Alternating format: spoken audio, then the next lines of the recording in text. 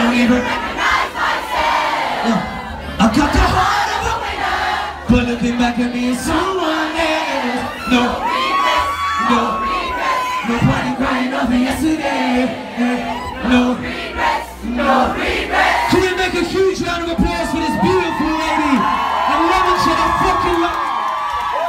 Big round of applause. Oh wait, where's